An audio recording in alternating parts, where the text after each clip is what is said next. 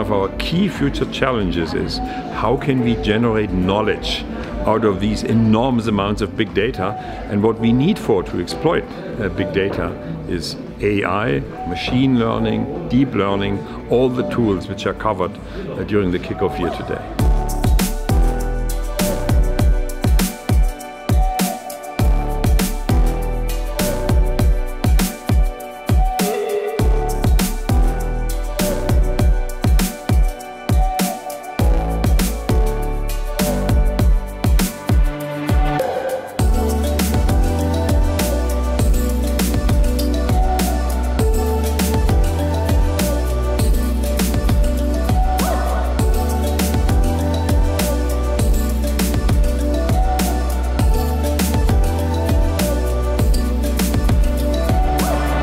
Great event. Uh, we have lots of people that have come here from all around. Uh, fantastic talks so far. Uh, great opportunities for networking, meeting different people, discussing different projects.